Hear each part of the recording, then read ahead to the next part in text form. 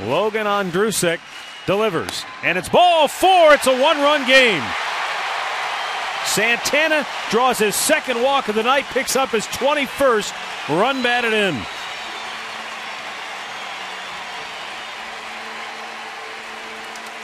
Well, they're gift runs now, and they certainly will take them.